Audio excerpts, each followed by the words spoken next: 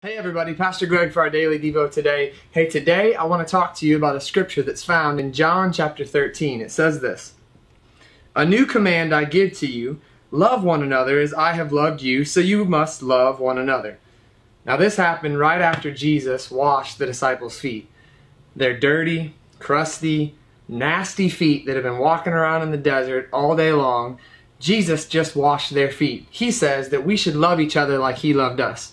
Now, I want to give you an example of what this looks like. It says this Jesus loves us.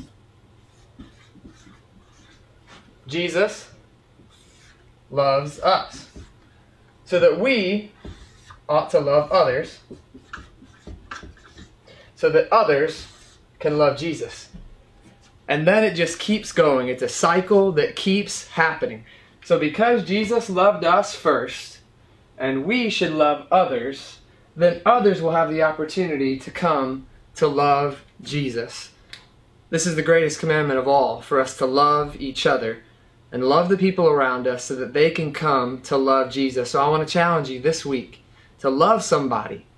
You never know that because you love them, they might get to love Jesus. Now, Jesus may not ask you to go and wash your neighbor's feet, but he is asking you to do something awesome for them, to show his love. And I want to challenge you because you love others, others might come to love Jesus.